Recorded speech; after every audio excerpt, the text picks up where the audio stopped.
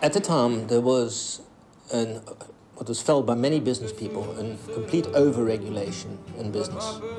Um, there was a need for business licenses, and, quite, and the application process was completely prohibitive for small and emerging business um, to actually get into the mainstream of business.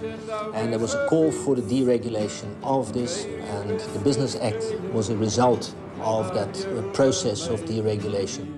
The Businesses Act doesn't require permits uh, if you want to trade. And that's basically a recognition of what's contained in the Constitution, which is that, and the Constitution gives everyone the right and the permit to trade automatically. It was a new era. South Africa was shedding the repressive shackles of the past. And for this reason, the Business Act repealed all laws prior to 1991 that discriminated against the informal sector.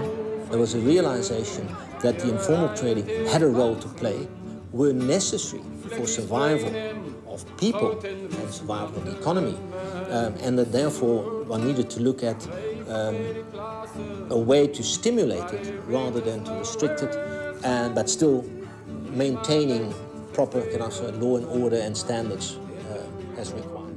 The Business Act ensures that the needs of informal traders are met without compromising the rights of the public. The Act identifies places where trading is prohibited.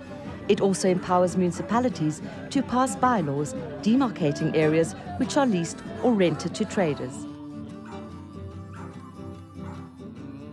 It's not permission to trade, it's permission to lease for purposes of trade. In the legislation here, we're talking here about the leasing of demarcated areas, which is therefore a permission, not a restriction, but a permission to operate out of a certain area. And we're all talking about business development, and we're all talking about creating entrepreneurs. That's where it starts. And uh, each local authority can make bylaws which are relevant for their situation.